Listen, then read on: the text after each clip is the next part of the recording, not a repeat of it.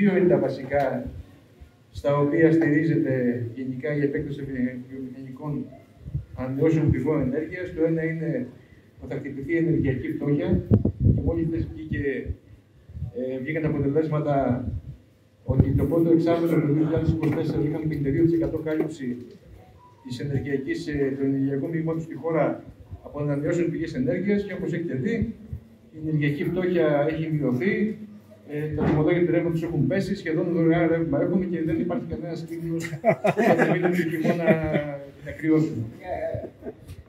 Ε, το δεύτερο είναι που χρησιμοποιούν ότι θα σωθεί το περιβάλλον, δεν θα μειωθεί το αποτύπωμα άνθρακα. Και υπάρχει πολύ, είναι πολύ σαφές το παράδειγμα της Κρήτης, όπου είναι ένα απομονωμένο σύστημα ενεργειακό και στο οποίο έχουν διεστήσει πάρα πολλές ενώσει πηγές ενέργειας και όμως η μείωση του αποτυπώματο άνθρακα είναι μηδενική στην καλύτερη περίπτωση.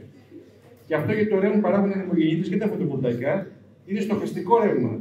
Μπαίνει μέσα στο σύστημα σε περιόδους, σε ανά πάση στιγμή όταν παράγεται. Αυτό σημαίνει ότι όταν στο σύστημα έχουν παραγωγή από τα εργοστάσια φυσικού αερίου ή λιγνίτη ή οποιοδήποτε άλλο, ή από την ηλεκτρική ενέργεια από τα κρεμαστά παραδείγματος χάρη, θα πρέπει να μειώσουμε την ε, λειτουργία των εργοστασίων αυτών για να μπορέσει να μπει μέσα το ρεύμα το στοχαστικό για να μην έχουμε κατάρρευση του συστήματος.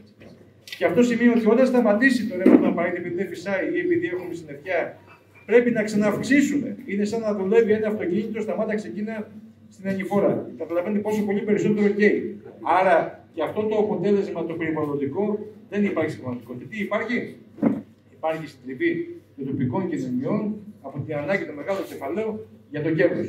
Αυτό δεν πρέπει να το αφήσουμε. Γιατί ακριβώς όπως προπόθηκε και το ρεύμα έχει γίνει επόρευμα.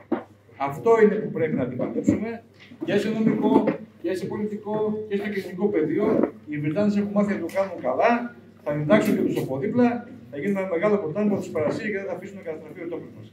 Αυτά και ευχαριστώ πολύ.